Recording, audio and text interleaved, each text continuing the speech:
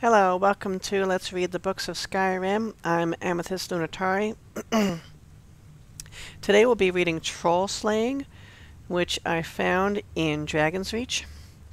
Right now we are in Mistveil Keep in Riften. Troll Slaying by Finn. Hello, fellow traveler, and welcome to this guide. Within these pages, I will explain everything you need to know about fighting trolls, including how to negate their amazing healing powers, and how best to take advantage of their natural love of cold. I'll even share with you my tried and true secret for killing trolls. Intrigued? I hope so.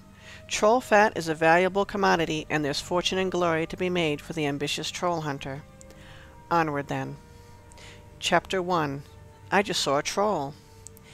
If you think you've seen a troll, remain calm and slowly back away.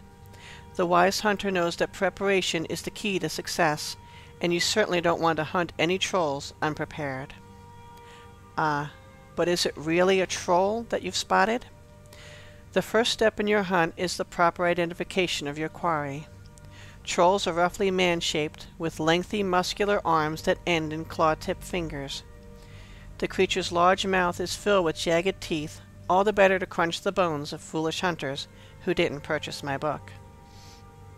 Without a doubt, the troll's most distinctive and unusual feature is the third eye nestled in the center of its forehead. A troll's hide is covered in thick shaggy fur.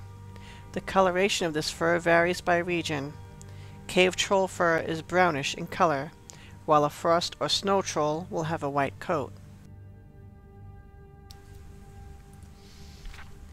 Chapter 2 Stop Healing Yourself. So, you've properly identified a troll, and now you're stalking the beast, ready to strike. You're in for a challenging battle, but a profitable one, assuming you survive. The first thing you'll notice is that trolls are incredibly fast and strong for their size. A troll likes to pummel its prey into submission with powerful arm strikes and claw attacks. For this reason, reason I strongly recommend a shield. If you're brave enough, or foolish enough, to fight a troll without using a shield, then you'd better be an expert at parrying with whatever weapon you've got. Trolls also have the ability to rapidly heal from their wounds.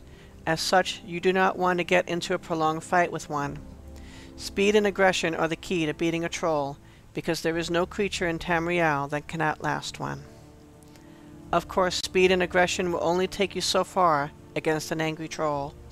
This is where my secret weapon comes in. Chapter 3 Finn's Secret Weapon Fire, my friend. Say the word and commit it to memory, for fire is the troll hunter's ultimate weapon. I cannot overstate the importance of fire in battling a troll. Even trolls that don't dwell in cold climates are vulnerable to fire. If you're unable to use fire magic, carry a weapon enchanted with arcane flames. Why is the troll vulnerable to fire? Rumor holds that the troll's regenerative abilities are less effective at healing burns. I don't really know the answer, but I can promise you this. Fire works against trolls. This has been proven time and again. Chapter 4 Trimming the Fat The troll might be dead, but your job isn't finished just yet. Let the flames die down and then examine the troll's corpse. If you're lucky, you'll find some fat deposits that will fetch a good price in an apothecary's shop. In fact, if you've got a knack for alchemy yourself, you can yourself, you can boil the fat down for use in all manner of potions and tonics.